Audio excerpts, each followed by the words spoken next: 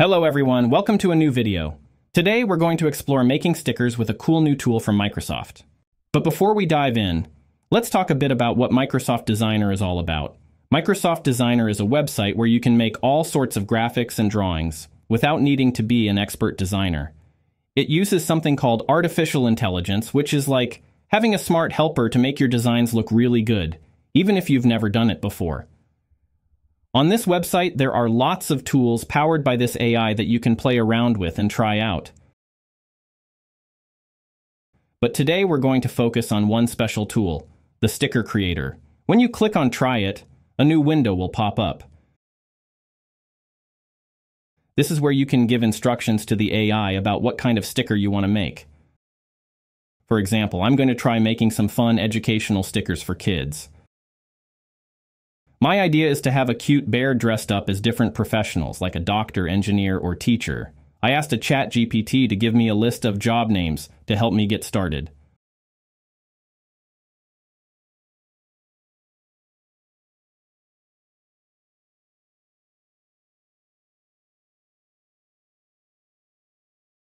So to make a sticker of a happy bear dressed as a doctor, I'll type that into the box and hit generate.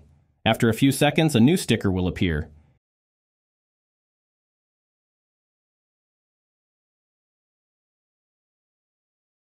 If you're not happy with how it looks, don't worry. You can try changing the design until you're satisfied. Now, it's important to know that this tool is still being tested, so sometimes it might not work perfectly. But let's keep creating our stickers. Once you're done making all the stickers you want, you can download them to your computer or device.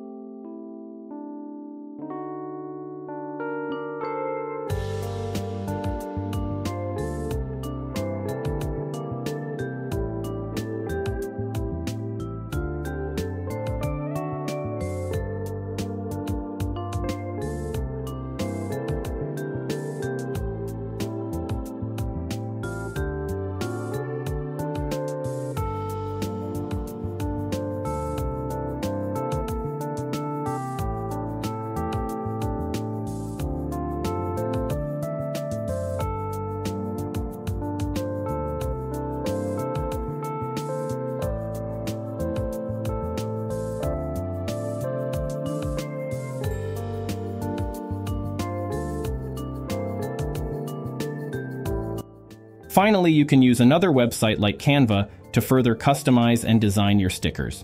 You might want to do this if you're planning to sell them or print them out. And that's it. Have fun creating your own stickers and let your imagination run wild.